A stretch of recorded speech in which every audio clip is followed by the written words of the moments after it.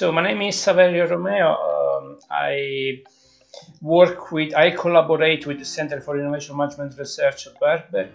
Uh, I do some research, I do some teaching too, uh, but I also work uh, in the, um, let's say, emerging technology market. So I'm a consultant uh, for public and private organizations on how to use emerging technologies emerging digital technologies to be precise. Yes. The paper is about a very early stage uh, technology, uh, which is quantum information and communication technologies. Uh, uh try to understand uh, the dynamics in terms of uh, startup formation and entrepreneurship in this field with an eye on two, let's say, locations. One is London and the other one is Washington. Uh, so the objective uh, is, because the research is still on despite uh, the publication of the paper, is understanding the dynamics of entrepreneurship in quantum and to come out with some policy implications on how uh, this process can be accelerated or things needs to be changed, uh, how to promote new startups, also how to promote, um, for example, uh, to eliminate a gender gap that's uh, already appeared in this in this area.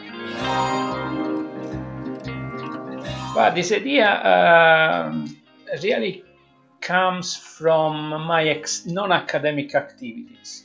Uh, I've been involved in two projects in the last two years in the um, in Internet of Things and uh, in the evolution of 5G networks, in which uh, quantum technologies uh, has appeared quite a few times. Uh, uh, for those uh, market segments, um, it represents a bit the next evolution that will come probably in the next 10 20 years.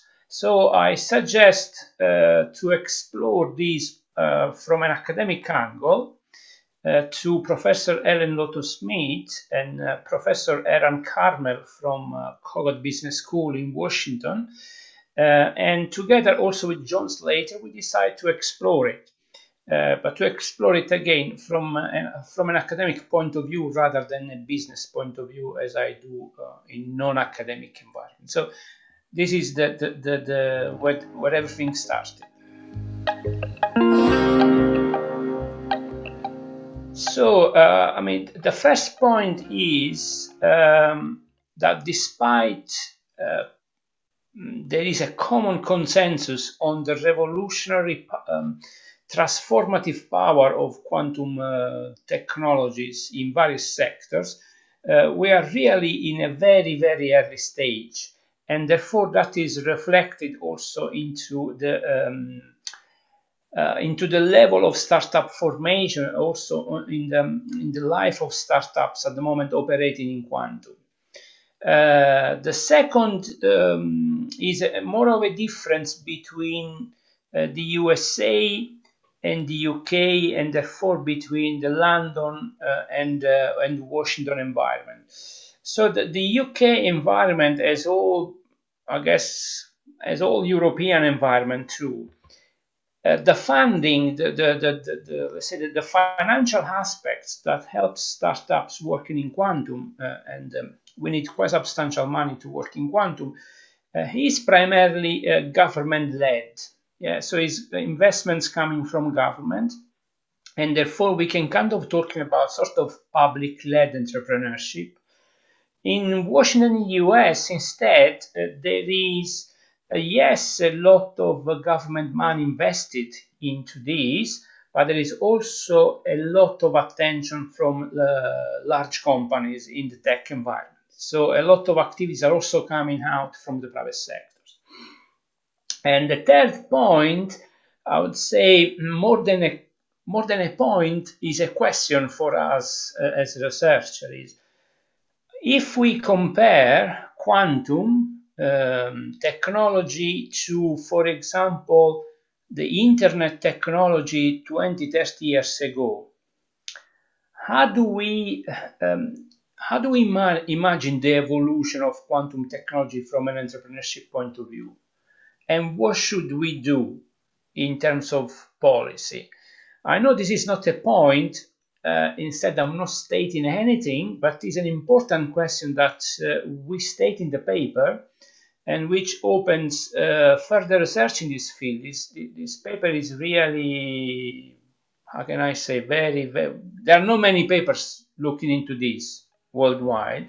So we are really in an early stage of research in this field. Yeah. I hope policymakers uh, will read the paper. Um, technology policymaker uh, will read the paper um, because uh, quantum technologies will be probably uh, the competitive asset uh, for countries and international organizations for the future. So it is an area to look at with, with care. Uh, and um, hopefully they will read it and they will be provoked in their thinking uh, and uh, hopefully we can engage also as, as researchers with them. Uh, the other audience, I believe, um, is around uh, the entrepreneurs. And um, maybe they will not learn a lot from the paper, but uh, again, there, are, there is the desire to engage with them uh, to understand how to um, create more skills in quantum, uh, which is an issue that we have highlighted in the paper. And also, as I said at the beginning, to understand how to bridge the gender gap. At the moment, uh, if I remember well from the research, I think there are two CEOs, two female CEOs, between three female CEOs, sorry, between London and Washington, out of um, I don't know many companies. Um, 27, almost 40 companies.